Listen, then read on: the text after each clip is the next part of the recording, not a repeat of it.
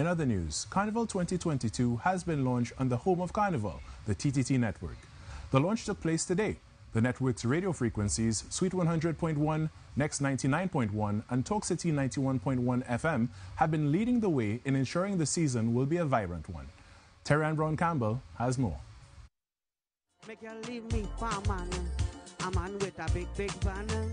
The 2022 Carnival season got off to a lively start with the first Fantastic Friday rolling out on TTT's Now Morning Show. TTT Limited CEO David Roberts says the network will offer the essence of Carnival.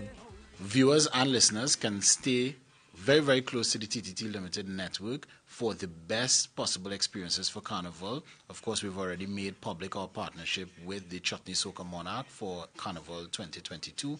We've also already launched Give Me a Song, and we have so many more uh, pieces of entertainment to come.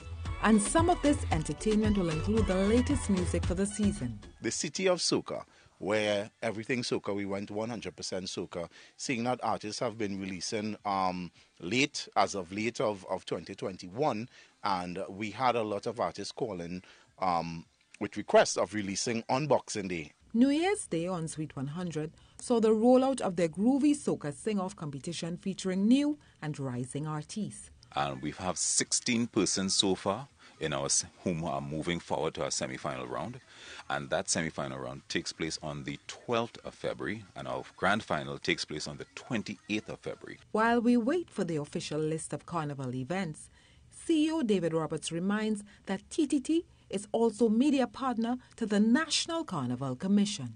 I invite you to join us on air at TTT, on our website ttt.live, or at TTT Live Online on YouTube and Facebook.